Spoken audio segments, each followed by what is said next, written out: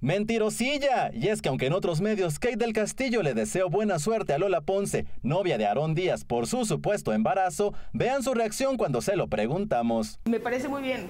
Y no fue lo único que le hizo poner esa cara, pues también se molestó por el rumor de que sus papás no quieren al Canelo Álvarez como yerno. No, eso, ay, por favor, primero no hay relación y segundo no pasa nada. Pero no crean que siempre está de mal humor, pues de lo que sí quiso hablar fue de su trabajo como vocera de una causa contra la trata de personas y el comercio sexual plasmada en una película.